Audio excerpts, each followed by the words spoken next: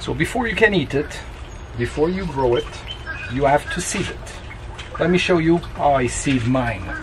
Next, stay tuned.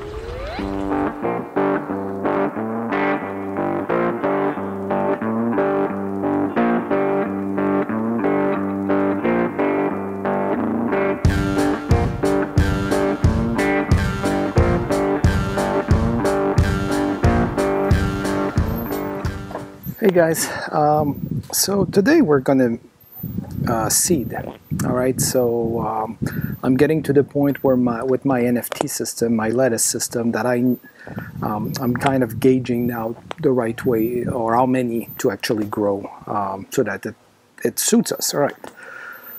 So today is the start of experimentation. So I'm gonna, you know, I've been trying to do seeds uh, that were mostly lettuce, right? So that, you know, I could get that going.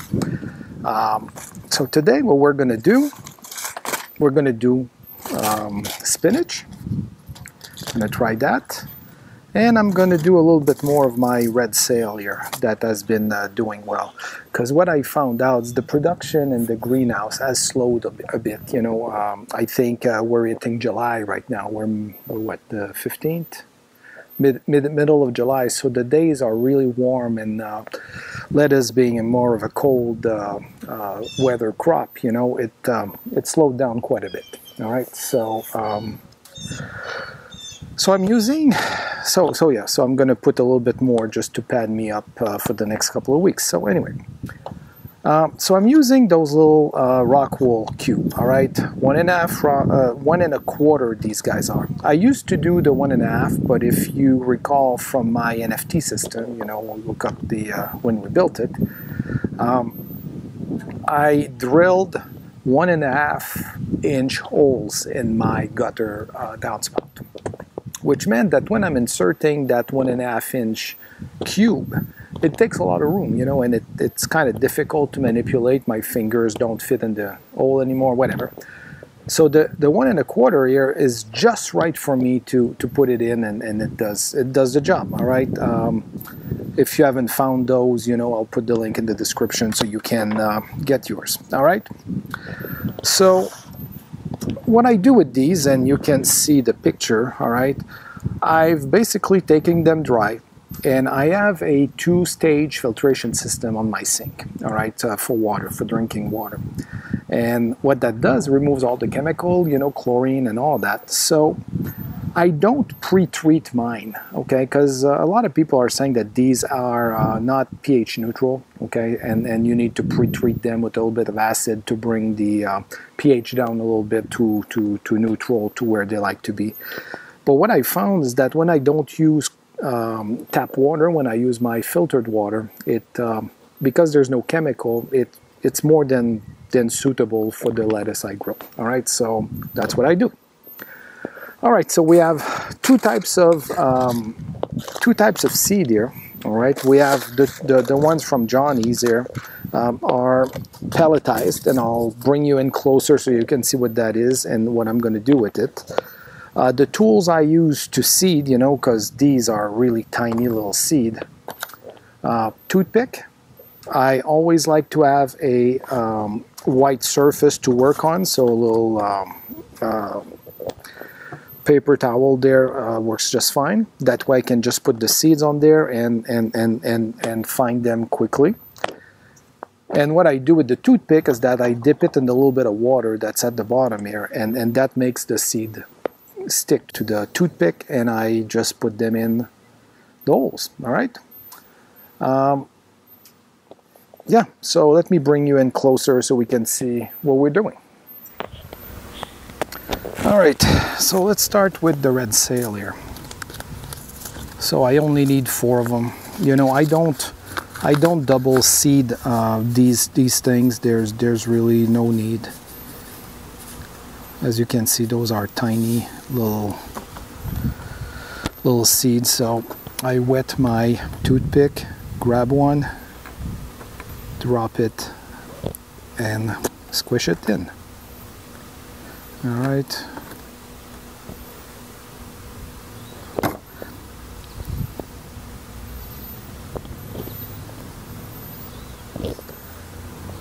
And I don't know if you can see what I'm doing here but I'm trying to um, put it on the side here right? And and I drag it down that way drag the toothpick along that way. I know that it's well you know positioned. All right? Let me put those back in. All right that's for the red sail and as you saw those were um, real seeds you know and what I mean by that uh, we'll see in a second here so these are spinach. Okay so I'll just take four of them. Okay same principle though right? So I take the seed. Although this one's a little bigger maybe I can just drop it there but that's what happens. Alright so I'm gonna put it there but I'm gonna push it in with the toothpick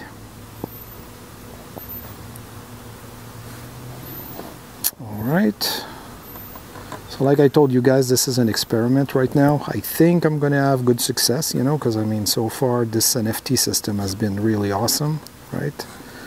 So there we go.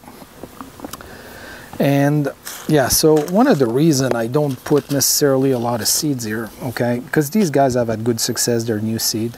Uh, but when you buy your seeds, let's say from Johnny's here, okay, they put this little label on because this is not a just a regular seed. This is actually what they call a pelletized seed all right so the seed is buried in that little cocoon there all right and around it are all sorts of stuff to make the seed uh, do better. So this one is the azurca all right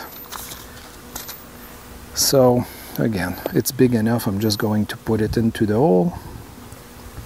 And I'm gonna finish it with the toothpick. Just enlarge the hole a little bit. Boom.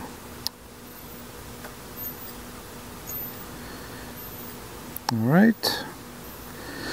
And the cool thing about these these things as you can see germination 99% they tested it uh, March 22nd right? So yeah these you put one it grows okay? It's basically um, I haven't had one yet that didn't germinate all right? So so I like that. They tell me that I don't have to put two there I'm not gonna.